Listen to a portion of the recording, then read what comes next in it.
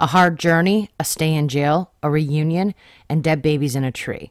All in this episode of What the F Does This Mean? Blood Meridian.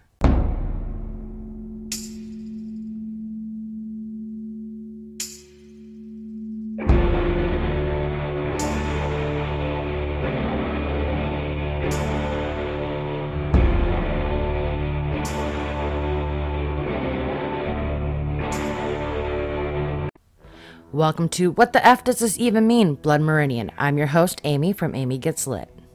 This is the third episode in my series on Blood Meridian by Cormac McCarthy. In the last video, I talked about chapters 2, 3, and 4. This video will be covering four chapters 5, 6, 7, and 8. Just to recap, in the last video, the kid met a hermit who gave him shelter along with some thoughts on life, herders that offered him kindness and a job, and a bartender the kid kills when he wouldn't give him a drink. We joined Captain White's filibuster traveling to Mexico. As they traveled, the terrain and environment became more brutal than the day before. The filibuster comes across a group of herders, but Captain White didn't think they presented too much of a threat. The real threat came when they realized they were surrounded by hundreds of Comanches on horseback. A battle ensued. We end the chapter with the men from the filibuster line scalped and dying with their horses staggering and screaming. Did anyone survive? And now the journey continues with chapter 5. I think that chapter 5 is a very significant chapter to the story because I think things are different now. What we've had so far is the before. This is now the after. With darkness, one soul rose wondrously from among the new slain dead and stole away in the moonlight. The ground where he'd lain was soaked with blood and urine from the voided bladders of the animals, and he went forth stained and stinking like some reeking issue of the incarnate dam of war herself. The kid lives! We don't find out how he survived, given his inexperience and the sheer number of adversaries they were facing, but the use of the word wondrously here implies to me that he survived by some sheer luck, good or bad, you be the judge, or some sort of fate. The kid walks through the desert in its darkness. He can still hear the Comanches at their camp, and even after walking all night, he could still see their fires burning behind him. I think the inclusion of this is really important here. I think it demonstrates just how alone he is. The kid has sort of always been alone, but it was in environments he could have some sort of control over, or at least feel like he could. As he travels forth, we see just how much he is at the mercy of the environment he's in. As day breaks, he begins climbing rocks and hears someone shout out to him. He meets a man named Sproul. Sproul tells him that he and eight others were able to escape, including Captain White. Sproul was injured badly in his run with the Comanches and holds his arm. They find a cave to sleep in for the night. The next day, they take to the plain again.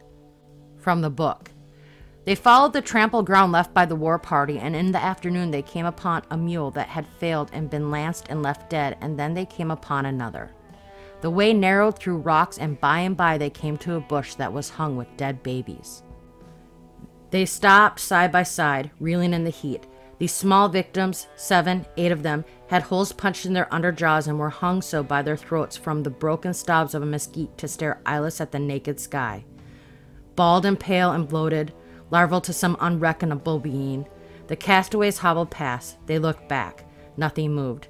In the afternoon, they came upon a village on the plain where smoke still rose from the ruins, and all were gone to death. From a distance, it looked like a decaying brick kiln. They stood without the walls a long time listening to the silence before they entered. They went slowly through the little mud streets. There were goats and sheep slain in their pens and pigs dead in the mud.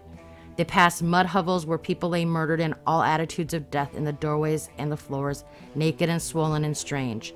They found plates of food half eaten, and a cat came out and sat in the sun and watched them without interest, and flies snarled everywhere in the still, hot air. At the end of the street, they came to a plaza with benches and trees where vultures huddled in foul black rookeries. A dead horse lay in the square, and some chickens were pecking in a patch of spilled meat in a doorway. Charred poles lay smoldering where the roofs had fallen through, and a burro was standing in the open door of the church. This passage gives us a lot of information, and there are a few things that we need to talk about here. I think primarily, it doesn't matter if it's animal or man or woman or child, death does not care neither do the Deathbringers.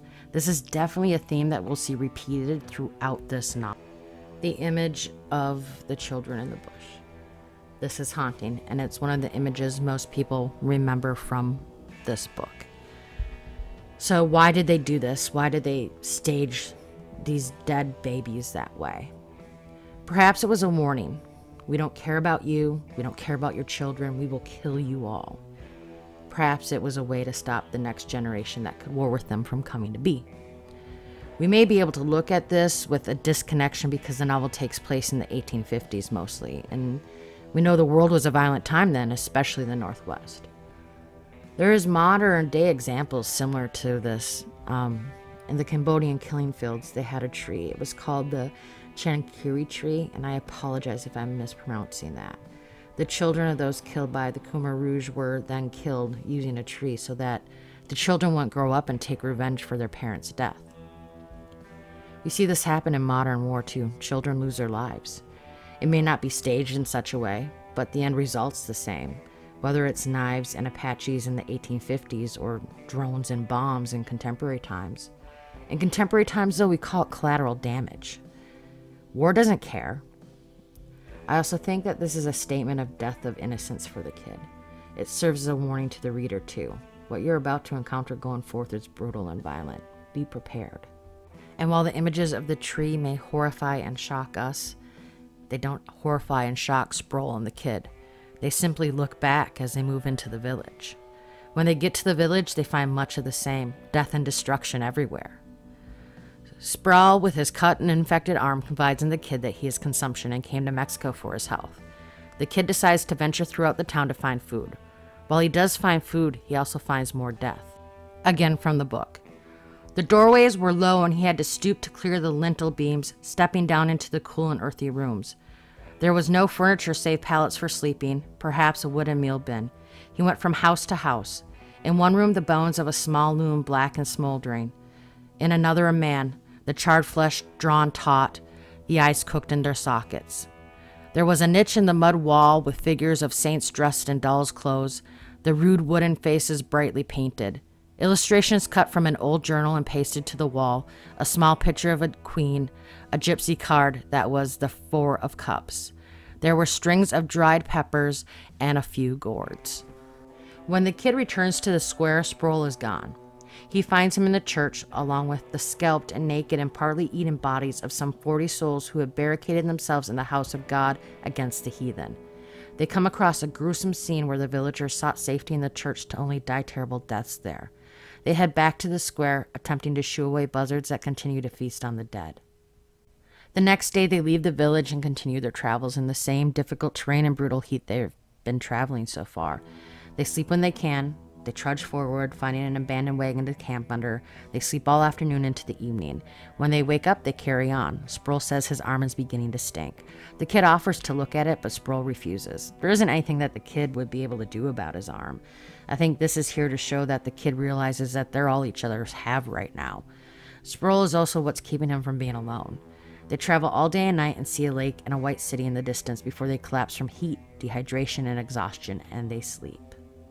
When they wake up the next day, Sproul's health has taken a turn for the worst. He is collapsing, his mouth is blistered, and fluid is seeping out of his foul smelling arm. The kid notices people in the distance. They realize that the lake and city they saw the day before were hallucinations that they were both sharing. I'm not sure how that works. The kid spits, and a lizard quickly comes and drinks his saliva. Well, they're thirsty. The group approaches and ride on by. The kid calls out to them, Hey, yo, what's up? Wait for us. The leader of this Mexican party of seven or eight is on top of Captain White's horse. So, where's Captain White? They ask if Sproul and the kid are out hunting the Comanche. When the Comanches are mentioned, the rest of the Mexican party dismount from their horses, they embrace and they mourn. They offer the kid and Sproul water from their canteen. The kid will not stop drinking. The leader knocks the canteen out of the kid's hand and Sproul grabs it and he starts drinking. The kid climbs over and grabs it away from Sproul and starts drinking again until the leader pulls a sword on him. The scene shows how dehydrated and desperate both the kid and Sproul have become. I think it also demonstrates how weak Sproul has become. I have a hard time believing that if Sproul were in good health, he would have let the kid get away with that.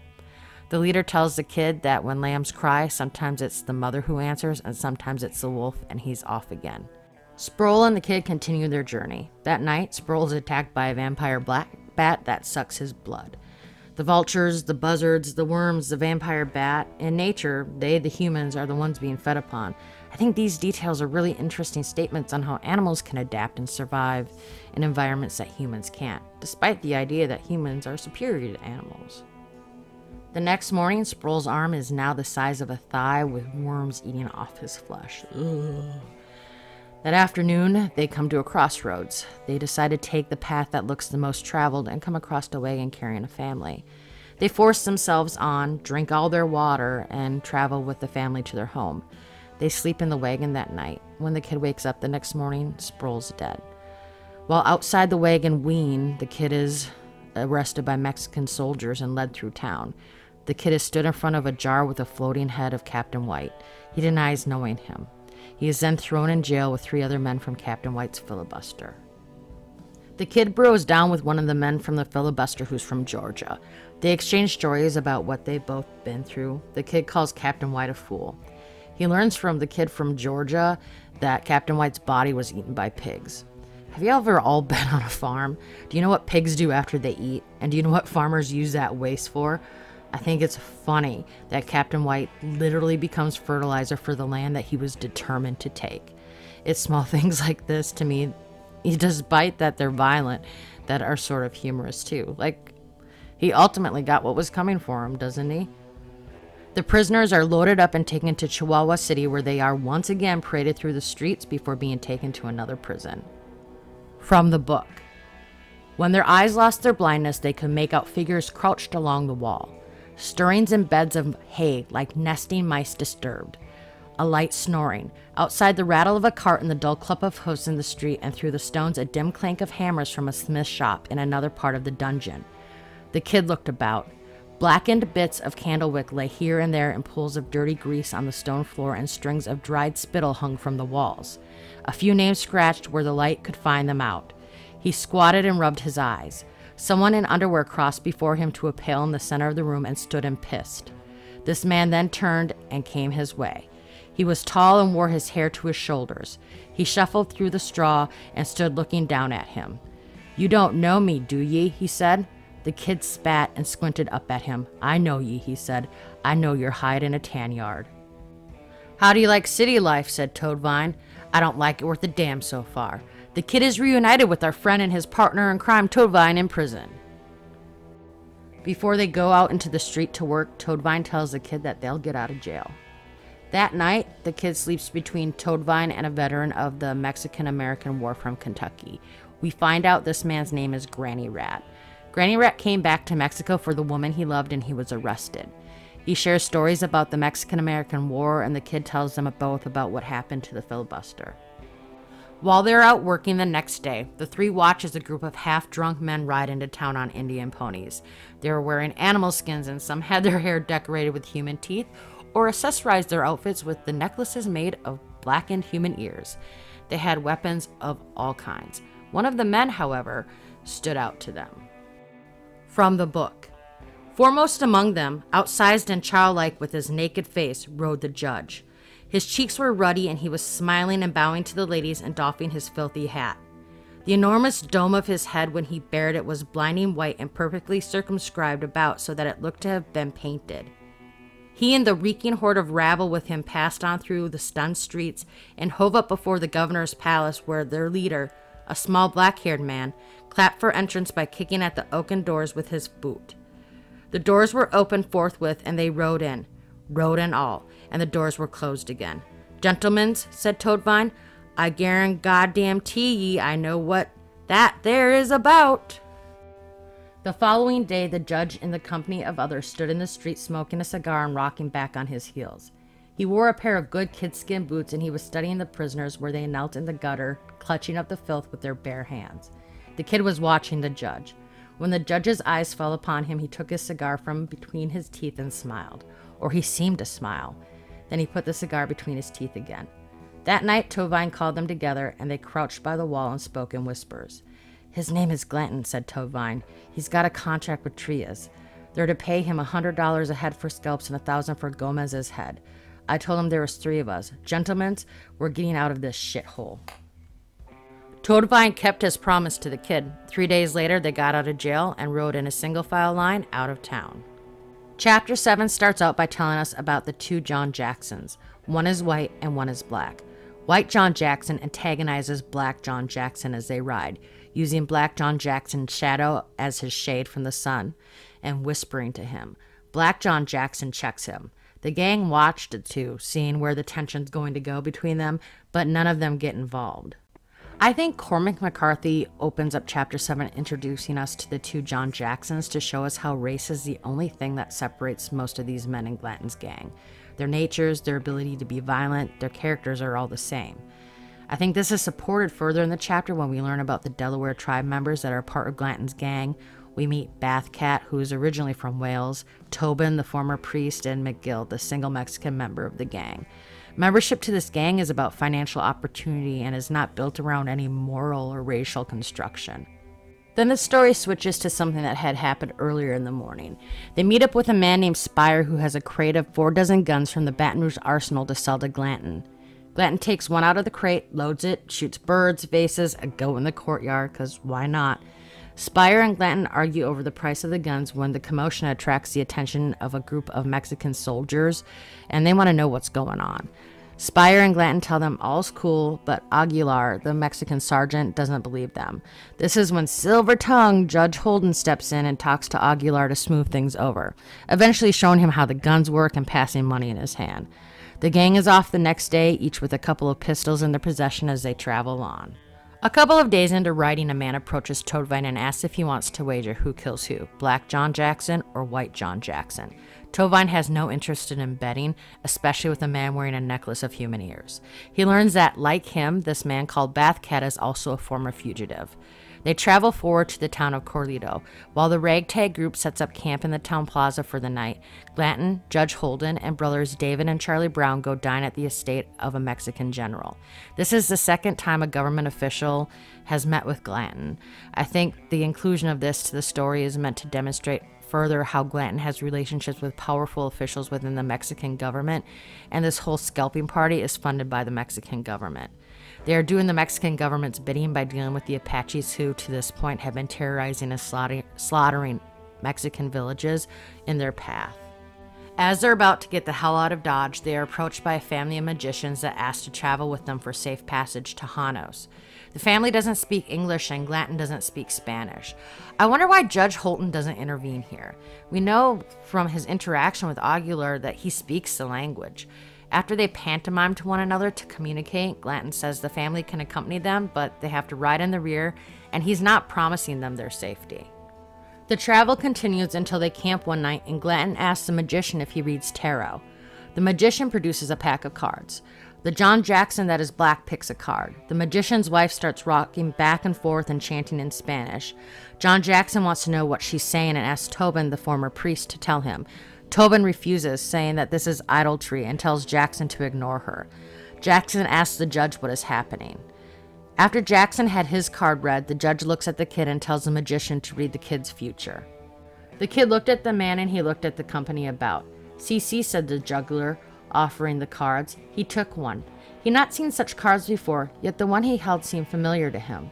He turned it upside down and regarded it, and he turned it back. The juggler took the boy's hand in his own and turned the card so he could see it. Then he took the card and he held it up. Cuatro de copas, he called out. This isn't the first time the kid has seen the Four of Cups card. It's not the first time you and I have seen the Four of Cups card in this book. In chapter 5, when he was in the village with Sproul and went searching for food, on the wall of one of the homes was the Four of Cups card. I'm not well versed in tarot, so please forgive my very simple Google assisted thoughts on what this could mean. But the card appearing in two chapters and two chapters so close together tells me there is absolutely significance to this. From what I could gather, the card depicts a boy unaware of the cups being offered to him because his focus is inward and not outward. I find this interesting because we get really zero internalization from the kid in this novel. It can also mean that one is apathetic or selfish.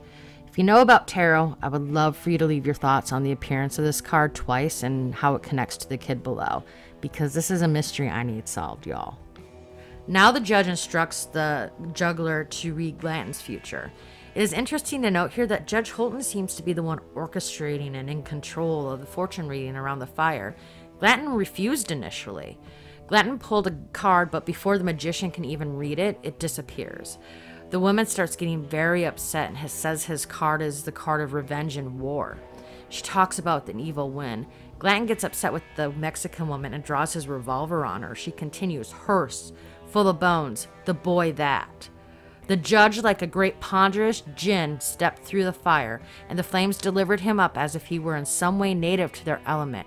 He put his arms around Glanton. So, my question here is this Did the judge interrupt the woman so she couldn't finish her sentence about the boy? Was Glanton about to shoot, and did he save the woman's life? Could it be both? The next morning, they journey on and reach Janos, where they meet up with the two Delawares that had ridden ahead of them. The Delawares have with them an old Apache woman they found at a meat camp. McGill, he said, a Mexican, solitary of his race in that company, came forward. Get that receipt for us. McGill then scalps the Apache woman. Bathcat, Toadvine, and the kid are sitting around and notice that a shirtless John Jackson leaves the magician's daughter's tent, and the chapter ends. Toadvine, Bathcat, and the kid decide to hit up the bar. Their interaction with the bartender is yet another example of them having difficulty communicating because of the language barrier. I think that McCarthy includes this so much to keep reminding us that Glanton and his gang, they're the foreigners here. They came here. The bar is nearly empty except for a group of men playing cards in a dark corner. An old man approaches them to talk. He asks if they're from Texas and says he's been there once. He asks if they're there to kill the Apaches. They hear a groan come from the back of the room. The conversation with the man continues, asking how much they're being paid to kill the Apaches. Neither the kid, Toadvine, or Bathcat answer him. The old man goes on to tell them that if they kill Gomez, they will get paid a lot of money. He then goes on to talk about how much blood has been shed in Mexico and that it's a good country and that he prays for it. We find out that the moaning came from a man in the corner that was stabbed for cheating at the card game. The man is the son of the old man. Glanton's gang leaves the next day. The judge notices that Granny Cat is gone. What's become of Chambers? he said. I believe he's quit. Quit. I believe he has. Did he ride out this morning? Not with us, he never. It was my understanding that you spoke for your group. Toadvine spat.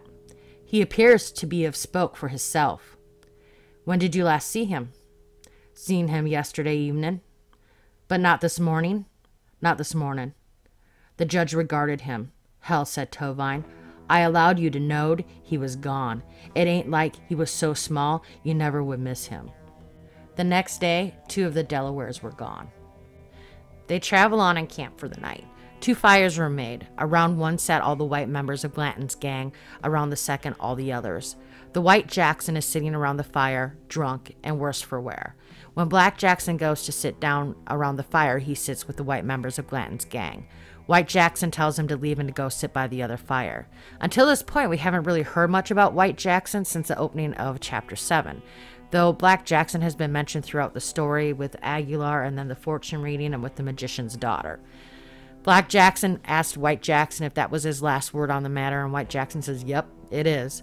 Black Jackson goes to get up. Black Jackson returns with a bowie knife and beheads White Jackson. Glanton rose. The men moved away. No one spoke. When they set out in the dawn, the headless man was sitting like a murdered anchorite, discalced in ashes and sark. Someone had taken his gun, but the boots stood where he'd put them. The company rode on. They had not gone forth one hour upon that plain before they are ridden upon by the Apaches. And so ends chapter 8. I hope you've enjoyed this breakdown of chapters 5, 6, 7, and 8. The next video will be chapters 9, 10, 11, and 12. Are there any parts of this next part of our adventure that stick out to you? Let me know in the comment section down below and let's discuss things. If you enjoyed this content, don't forget to hit subscribe and ring that bell. Last week, some people weren't getting notified when the new video was uploaded. Until next week, bye bye.